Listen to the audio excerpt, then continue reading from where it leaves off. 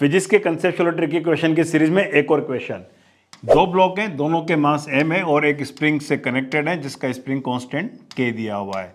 और जिस सरफेस पे रखे हुए इस सरफेस फ्रिक्शनलेस है। अगर इस वाले ब्लॉक को अचानक यू वेलोसिटी दे दी जाए तो जो सब्सिक्वेंट मोशन होगा, उसमें स्प्रिंग का मैक्सिमम कंप्रेशन कितना होगा, ये बताइए। अपने आंसर को कमेंट बॉक्स में लिखिए और करेक्ट आंसर भी आपको कमेंट बॉक्स में ही मिलेगा।